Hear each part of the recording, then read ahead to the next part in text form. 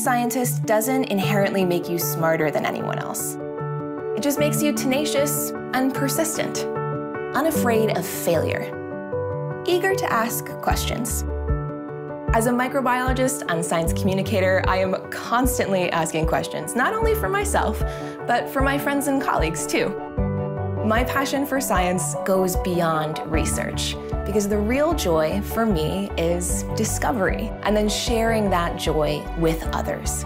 Making science more accessible by breaking down barriers of assumption or stereotype because there are a million ways to get your message across, to approach the unknown, or to solve for X and Y. One of the ways I communicate is through social media, where I can reach more people in more ways. I can speak casually, I can be myself, connecting the facts with my own personal life and experiences. When I talk about what excites me, I know there's always at least one person who's excited about it too. But sometimes I felt like I don't belong in the science space, especially in a field full of people who seem to have always known that this was their calling. And I always feel like I'm still just figuring things out. But I've realized that's kind of the whole point.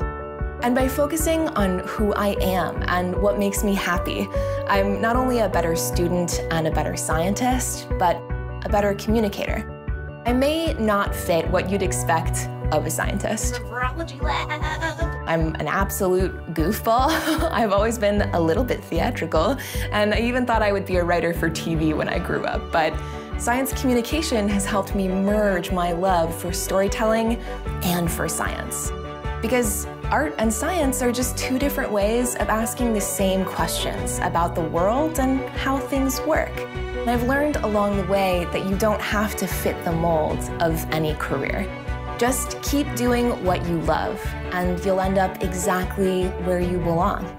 That's why connecting with friends, colleagues, and the online community we've built together means so much to me. I'm Maren Hunsberger, and my passion is science communication. How about you?